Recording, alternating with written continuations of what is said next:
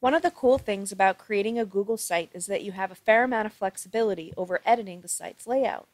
For example, if you wanted to change the location of the sidebar from the left-hand side of your site to the right, you could do that.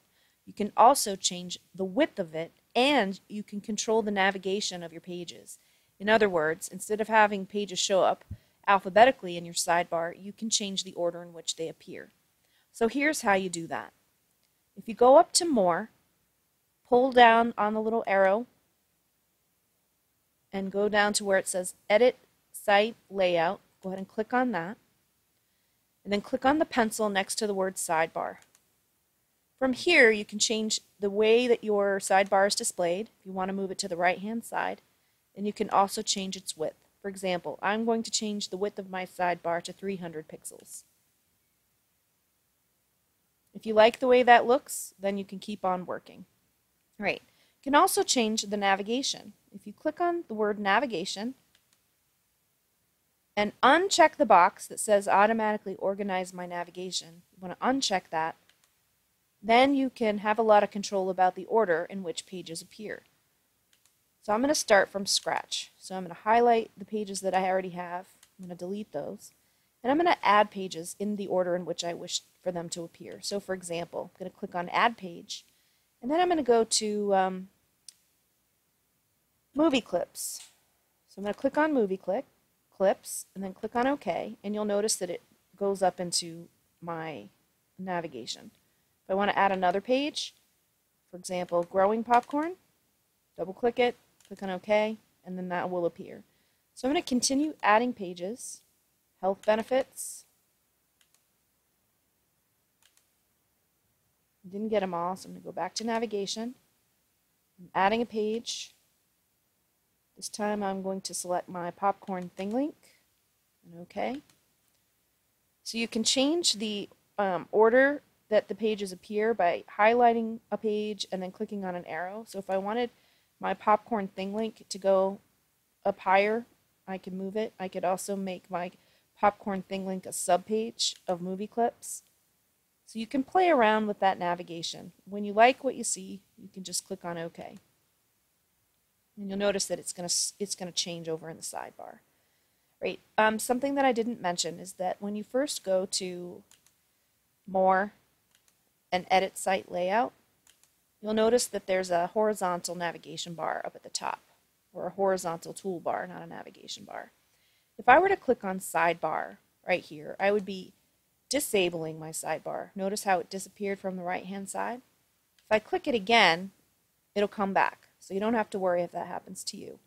Something else that you can play with is something called horizontal navigation.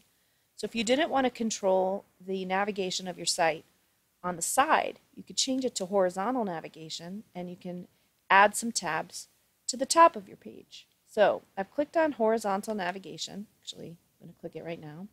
Horizontal navigation. I can see that I'm in there because there's already a tab right here. I'm going to click on Edit Horizontal Navigation. And as I did with the sidebar, I'm going to add pages that I wish to appear at the top of my site. So for example, I'm going to put um, health benefits at the top of my site.